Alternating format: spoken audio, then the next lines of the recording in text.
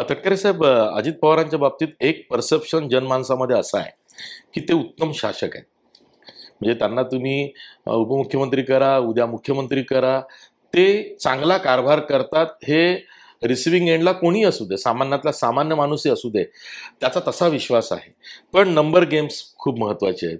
आणि या नंबर गेम्समध्ये तुमची जबाबदारी खूप मोठी आहे.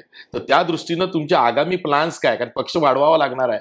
नुसताच गळती काही असेल तर ती थांबवायची आहे. प्लस समोरून तुम्हाला काही लोक आणायचे आहेत. म्हणजे टास्क मोठा आहे. मी जे म्हणतोय ते वेगळ्या अर्थानं असं बोलतोय की नव्यानं सुरुवात नाही का? ही नव्याने सुरुवात नक्कीच त्या ठिकाणी आहे. राजकीय आव्हान सर्वांच्या समोरच आहे.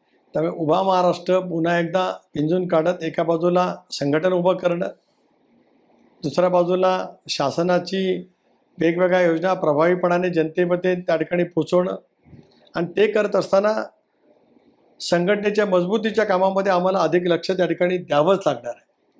आणि मला असं वाटतं की मी सुद्धा माझे राजकीय प्रवास संघटनेतून त्या ठिकाणी झालेला असल्यामुळे संघटनेच्या कामाचा मला प्रदीर्घ अनुभव त्या ठिकाणी आहे. उर्वरित कालावधीमध्ये प्रभावीपणाने संघटन उभं करण्याचा प्रयत्न क्रेडर बेस खालचा कार्यकर्त्याच्या ताकदीने अतिशय उत्तम पद्धतीने संघटना बांधण्यामध्ये आम्ही यशस्वी